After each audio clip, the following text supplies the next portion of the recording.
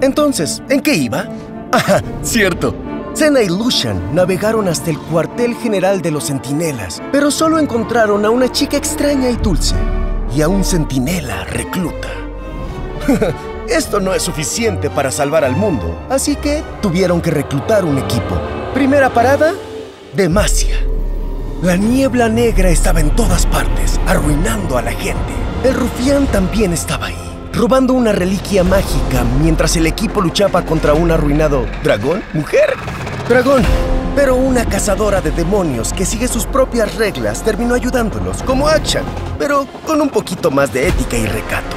Cuando todo terminó, los centinelas consiguieron a su primer recluta. Ahora vamos a Freljord, donde incluso los veranos se congelan. Para nuestra sorpresa, no había centinelas. En su lugar, el equipo encontró a un loco que quería su merecido en batalla.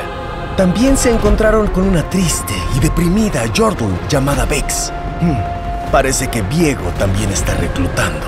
Nuestro nuevo amigo tiene dos hachas. Esto es mejor, creo yo.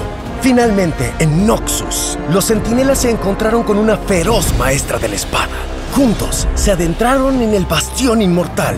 Pero el rey arruinado ya estaba ahí. Resulta que estaba reuniendo partes del alma de su reina para devolverla a la vida. ¡Otra vez! Viejo logró escapar y mandó al peor de sus secuaces.